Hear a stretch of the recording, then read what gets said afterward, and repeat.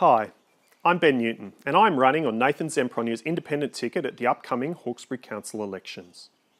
Did you know that house prices in Australia have risen by 550% since early 1990s? Major parties and federal and state governments have failed in their duty to ensure affordable housing for people.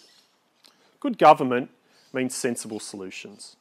Some problems faced by the residents of the Hawkesbury may seem at first not solvable by local council, but all tiers of government can contribute to a solution. And house prices, I believe, is one of them. As a father of two, I'm very concerned by the affordability of housing in our area. Will my kids ever to be able to afford a home?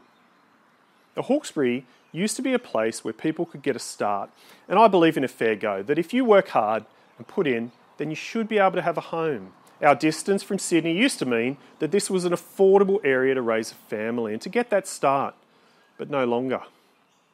Currently, the Hawkesbury Council allows building of granny flats in built up areas like Hobartville, Bligh Park, and South Windsor, and yet you can't build a modest flat on your acreage property. This is crazy. Our sensible solution is to change this rule. Councils can't solve all the problems, but we can make this small change provide additional accommodation that is more affordable. If you'd like to see a sensible solution for housing affordability in our area, please vote independent. Vote for me and my team.